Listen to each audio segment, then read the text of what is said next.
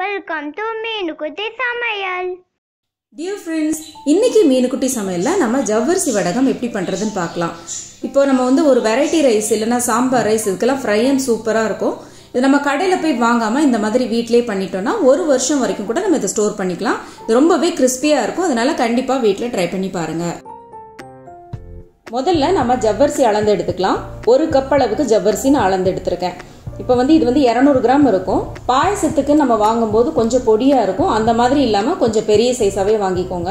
இப்போ நீங்கள் வருஷத்துக்கு போடும்போது இதை விட நீங்கள் குவான்டிட்டியை நீங்கள் இன்க்ரீஸ் பண்ணிக்கலாம். ஒரு கிலோ வரைக்கும் நீங்கள் போட்டிங்கன்னா கரெக்டாக இருக்கும். இப்போ இந்த ஜவ்வரிசி வந்து ஊற வைக்கணும் நம்ம. அதனால ஒரு டைம் வாஷ் பண்ணி எடுத்திருக்கேன். இப்போ ஒரு கப் ஜவ்வரிசிக்கு ரெண்டு கப் அளவுக்கு தண்ணி மெஷர் பண்ணி விட்டுக்கோங்க. இது வந்து நைட்டே ஊற வச்சிடணும். ஏன்னா நம்ம மார்னிங் தான் நம்ம வடகம் பண்ண போகிறோம் அதனால முந்தின நாள் நைட்டே நீங்கள் வந்து இதை ரெடி பண்ணி ஊற வச்சிருங்க. முந்தின நாளே வடகத்துக்கு கூழ் காய்ச்சி கூட வச்சிடலாம். அப்படி பண்ணுறீங்க அப்படின்னா ஒரு ஆறு மணி நேரம் முன்னாடி ஜவ்வரிசியை ஊற வச்சுக்கோங்க. அப்போ நல்லா பெருசாகவே ஊறிருக்கும் இப்போ ஒரு கடாய் எடுத்துக்கோங்க. அதில் அஞ்சு கப் அளவு தண்ணி மெஷர் பண்ணி எடுத்துக்கோங்க. ஒரு கப் ஜவ்வரிசி எடுத்தீங்கன்னா அதுக்கு அஞ்சு கப் அளவுக்கு நம்ம தண்ணி எடுத்தால் தான் கரெக்டாக இருக்கும். ஏற்கனவே நம்ம ரெண்டு கப் தண்ணி ஊற்றி தான் ஊற வச்சுருக்கோம். அதனால் மொத்தமாகவே ஏழு கப் தண்ணி தான் இதுக்கு தேவைப்படும். இப்போ நீங்கள் இதை விட அதிகமான குவான்டிட்டி எடுக்கிறீங்கன்னா கொஞ்சம் பாத்திரம் நல்லா பெரிய பாத்திரமாக எடுத்துக்கோங்க. அப்போ கிண்டுறதுக்கு வசதியாக இருக்கும்.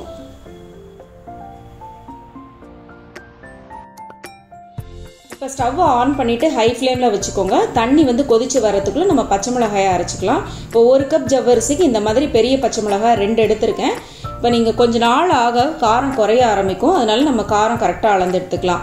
இப்போ உப்பு வந்து ஒன்றரை டீஸ்பூன் போட்டிருக்கேன். நீங்கள் எவ்வளோ பச்சை மிளகாய் எடுக்கிறீங்களோ அதுக்கு தகுந்த மாதிரி உப்பு சேர்த்துக்கோங்க. இந்த மாதிரி தண்ணி விடாமல் பேஸ்ட்டாக அரைச்சி எடுத்துக்கோங்க. அதுக்குள்ளே தண்ணி நல்லா கொதிச்சிருச்சு. இப்போ நம்ம ஏற்கனவே ஊற வச்சிருந்த ஜவ்வரிசி இதில் போட்டுட்டு நல்லா கைவிடாமல் கிளறிக்கலாம். அப்போ தான் அடி பிடிக்காமல் இருக்கும். ஒரு பத்து நிமிஷத்துலேயே நம்மளுக்கு நல்லாவே ரெடி ஆயிரும்.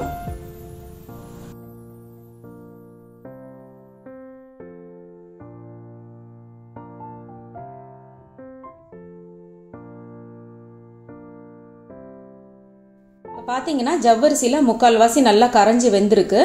நடு நடுவில் முழுசாக இருக்கும். ஆனால் அதுவும் வெந்து தான் இருக்கும். இந்த ஸ்டேஜ் கரெக்டானது தான் இப்போ நம்ம அடுப்பை சிம் பண்ணிவிட்டு நம்ம ஏற்கனவே அரைச்சி வச்சுருந்தா உப்பு பச்சை மிளகா ரெண்டுத்தையுமே சேர்த்துக்கலாம். எப்பவுமே வடகத்துக்கு பச்சை மிளகா கொஞ்சம் கூட சேர்த்துக்கோங்க. உப்பு வந்து முக்கால் பதம் இருக்கட்டும்.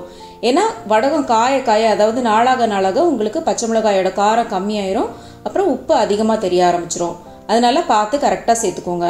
இப்போ நம்ம சேர்த்தாச்சு. இது நல்லா கலந்து விட்டுட்டு ஒரு ரெண்டு நிமிஷம் இருந்தால் போதும் நம்ம அடுப்பு அணைச்சிடலாம்.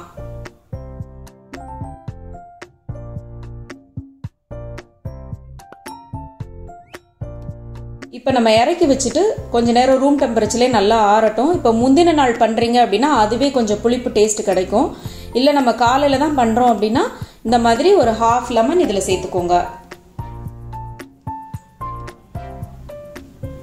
இது கூடவே நீங்கள் பெருங்காயமும் சேர்த்துக்கலாம்.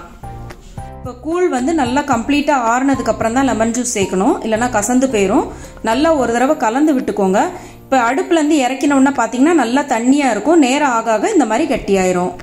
இப்போ காலையில் ஏழு மணிக்கு வெயில் வந்த உடனே நீங்கள் இந்த வடகம் போட ஆரம்பிச்சிட்டிங்கன்னா ஈவினிங்குள்ளேயே முக்கால்வாசி நல்லா காஞ்சிருக்கும். கன்வீனியன்ஸ்க்காக சில பேர் பிளாஸ்டிக் ஷீட் யூஸ் பண்ணுவாங்க. வெயிலில் காயும் போது அது உடம்புக்கு கெடுதல் அப்படிங்கிறதுனால நான் காட்டன் துணி யூஸ் பண்ணியிருக்கேன். முடிஞ்ச வரைக்கும் நீங்கள் க்ளீனான காட்டன் துணியிலேயே நீங்கள் போட்டுக்கோங்க. இப்போ ஒரு டூ டேஸ் தான் ஆயிருக்கு. நல்லாவே காஞ்சிருக்கு. இதை நம்ம இப்போ துணியிலேருந்து எடுத்துடலாம். பிளாஸ்டிக் ஷீட் மாதிரி அவ்வளோ ஈஸியாக எடுக்க வராது. அதுக்கு என்ன பண்ணணும் அப்படின்னா இந்த மாதிரி பின்பக்கமாக கொஞ்சமாக தண்ணி அப்ளை பண்ணிவிட்டு ஒரு ரெண்டு செகண்ட் விட்டுக்கோங்க. ஈஸியாக நம்மளுக்கு வடகம் துணியிலேருந்து எடுக்க வந்துடும் அதுக்கப்புறம் ஒரு பிளேட்டில் போட்டு ஒரு ரெண்டு நாள் வரைக்கும் வெயிலில் காய வச்சிங்கன்னா அவ்வளோதான் முடிஞ்சது. நல்லா கிறிஸ்பியாக சூப்பராக இருக்கும். ஒரு வருஷம் வரைக்கும் நீங்கள் டப்பாவில் போட்டு ஸ்டோர் பண்ணிக்கலாம்.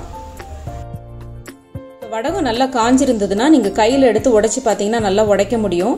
அப்படி இல்லைன்னா நீங்கள் கூட கொஞ்சம் நேரம் வெயிலில் காய வச்சிங்கனாலே கரெக்டாக இருக்கும். இது நல்லா ட்ரையாக இருக்கு. இதை நம்ம இப்போ எண்ணெயில் பொரிச்சு எப்படி வந்திருக்குன்னு நம்ம பார்க்கலாம்.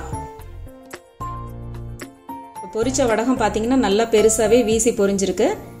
எவ்வளோ சூப்பராக கிறிஸ்பியாக வந்திருக்கு பாருங்க. அவ்வளவுதான் நம்ம ஜவ்வரிசி வடகம் நல்லாவே ரெடி ஆயிடுச்சு. இதை நீங்கள் கண்டிப்பாக வீட்டில் ட்ரை பண்ணி பாருங்க. மறக்காம உங்கள் ஃபீட்பேக்கை கமெண்ட்ஸில் எழுதுங்க.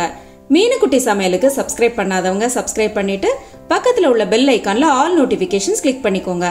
தேங்க்யூ ஃபார் வாட்சிங் லைக் సార్. సబ్స్క్రైబ్ మీనుగుతి సమయాలు.